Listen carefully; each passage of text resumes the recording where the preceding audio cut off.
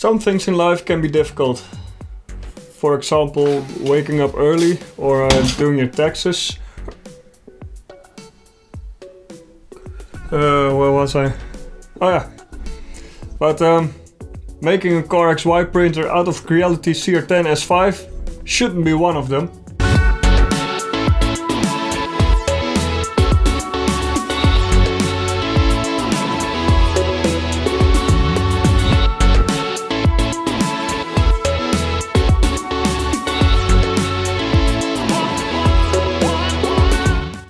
Hi, I'm John from Proper Printing and in this video I'm going to make a Core XY printer out of a CR10S5. At least that's what I hope to achieve. The reason for this video is because I want to print large things out of difficult materials like ABS or nylon. Because I'm going to make rims for a car. But in order to do that yeah, need an enclosure. I already made an enclosure for my CR10 and for my Ender 3. And they had one problem. The problem with those enclosures is that they became pretty large for its build size. Well, you can imagine the size of this enclosure. It will start here and end up all the way here. And that's the minimum. So that's pretty big and it's going to be high as well. Well, if I make a Core XY printer out of this printer, then I can uh, keep this bed somewhere here or within this frame. The idea I'm having is a bit different than the Core XY modifications already out there. One thing I noticed is that the usual Core XY printers, they lift up the bed. They have a pretty sophisticated uh, belt driving mechanism on top for the X and Y uh, movement. I still think that that's too difficult, so I want to make it even simpler. I don't know if this is going to be better, but if it works, then this will be the simplest Core XY upgrade out there. The idea is to uh, put this bed into a steady position and instead of this bed going back and forth, I will let this whole gantry go back and forth over this rail here and here. And these lower beams already have those uh, V-slots. Hopefully I'm able to use the rollers which are moving this bed back and forth. I can uh, still hear you thinking, well, if you're going to move the bottom of this gantry back and forth, then this whole gantry will do this. And I think it will. So therefore, I have three stages in this video. Stage 1 is trying to make this thing move on this lower beam. If it turns out that this is too floppy, then we go to stage 2. A cool thing is that these two profiles aren't needed anymore. So I can use the profiles for this bed to mount here on the top at the top and uh, make some uh, some vertical beams here. So it will be driven on the bottom and hopefully it will go into parallel. And even if that isn't working, then I can do a similar approach as what I've done with my dual Z axis. I make a belt on here, drive it at the top side as well. I hope stage 2 will be enough. Well, stage 1 would be awesome if that's enough, of course. I have uh, made a design and I've printed this out of this uh, yellow ABS. This is mounted to the bottom of this axis and these uh, three holes here, they will hold those uh, V-slot wheels. And this should slide along this axis here. So I'm going to mount this and see if it fits. Okay, hold up. I started with this flimsy design I've used this to uh, to see if everything fitted, and um, yeah, I removed the bed. uh, I mounted this on it, and um, yeah, it was a bit uh, a bit floppy, but um, remember that I said it was for stage one, two, and three. Well, I think I'm at stage one. Okay, it was like this, and now it's like that. Yeah, this is sick. I just have posted a small teaser on Twitter because I was stunned by how well this works. And I got one question if um, the gantry will not be wobbly if the Z height will be high. Well, I put this gantry all the way on top. this is still the ABS and I want to use better materials. I have to put some tension on it. That's nice that I can just reuse the parts of the bed. This is really afraid that I smack myself in the head with this. way better than I thought it would be.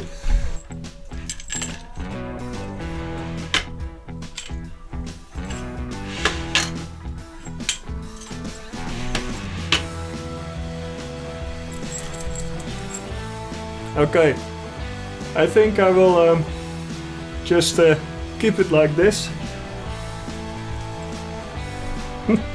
I'm going to do some minor changes on this and print it out of a better, better material, better looking material.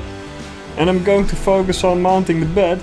I've made a bracket for this motor so it can fit here and on the other side with the bearing. I've shorted this 8mm rod and I can couple it to the motor and on the other side with this uh, bearing. The only thing that I have to add are these pulleys, but I have bought 6mm wide pulleys and I need 9mm, so I'm still waiting for these parts. And I've done a couple of tweaks to these parts and uh, these parts as well. In the meantime, when I'm waiting for those parts and the new prints, I have to find a way to fixate the bed on here. And I was uh, thinking of doing something very fancy with three point bed leveling system. Make something cool and uh, dedicate a whole video towards that. I think I have a much simpler approach which will work as well. Hopefully everything fits.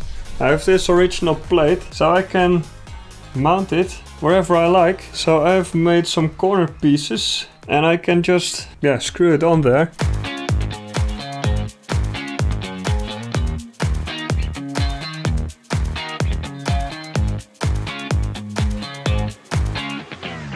By the way, I have one tip for you. I've printed all the temporary parts out of this uh, yellow ABS. I found out that if you are making prototypes and printed it with the goal of testing it and see if everything fits, that's what 3D printing is often used for. The tip is print it out of a light color. Best what you can do is uh, white PLA. So you can just use an ordinary pencil and make uh, annotations on it. If you go to a client or a customer and you have your design and you want to discuss your design and you printed it out of white PLA, you can um, just discuss it, use it as a 3D notepad and it looks cool and you have all your annotations directly where you want them.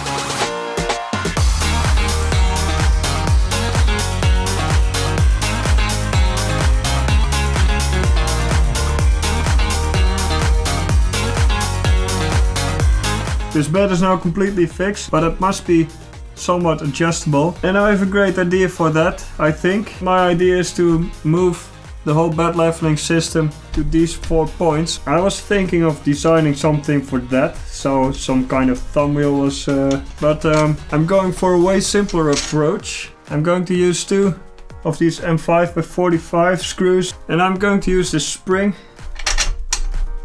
I can just mount it if I'm doing this for all four corners then I can basically adjust the bed.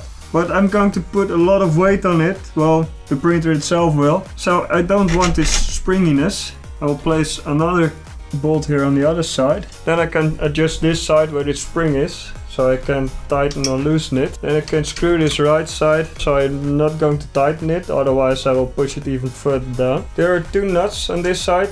Now right now it's uh, it's still springy. So if I tighten this nut here and then the other nut on the top.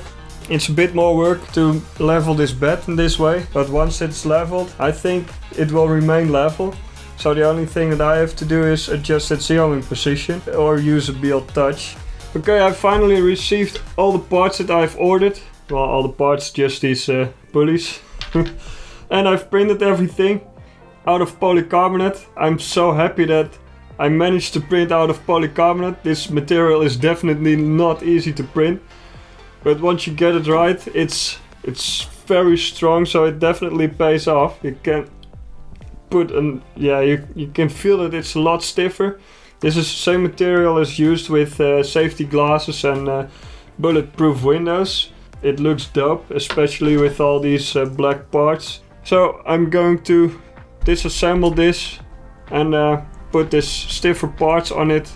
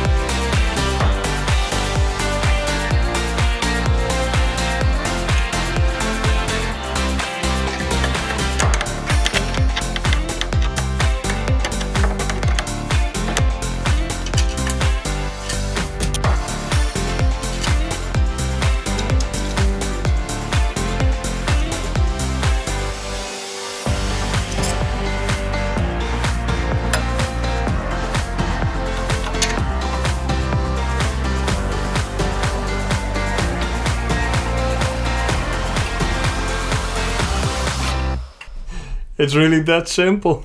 This was the best case scenario and the best case scenario happened.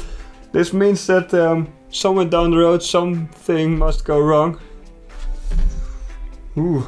Yeah, I think I'm going to connect this printer to the main board, see if I can get this axis to move and if I can get it to its homing position. If the cables are long enough, I hope that they are, then I think I will start with the homing position here at the front so I don't have to modify the firmware. I think I found the best position for the electronics box. just here at the end. There's room enough. All cables are just long enough so even this can go all the way to the front.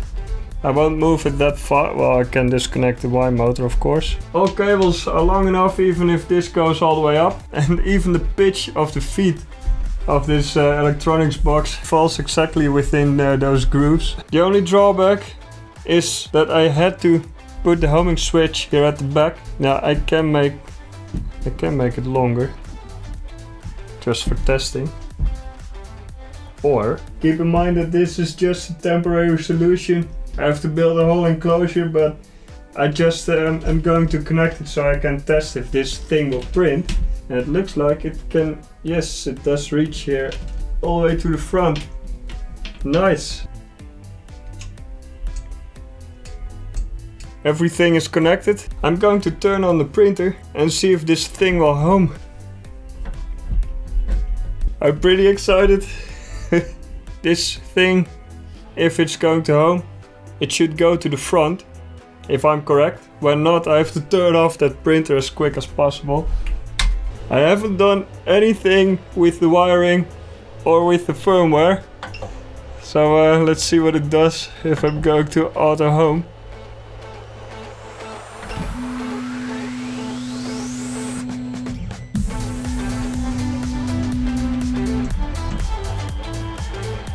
Oh, this is so sick. Okay, I want to do this again.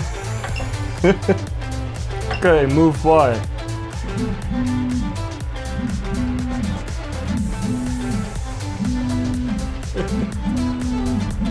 okay, again, home.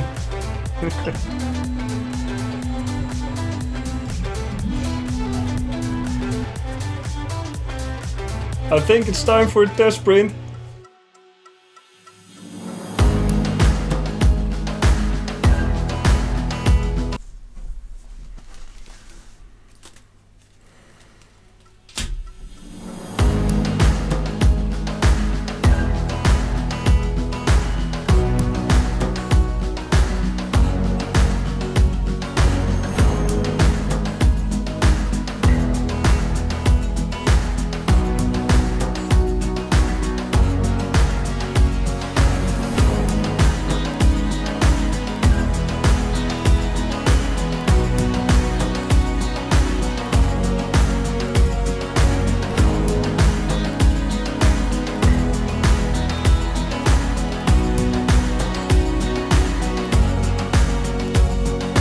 Okay, I consider this as a success.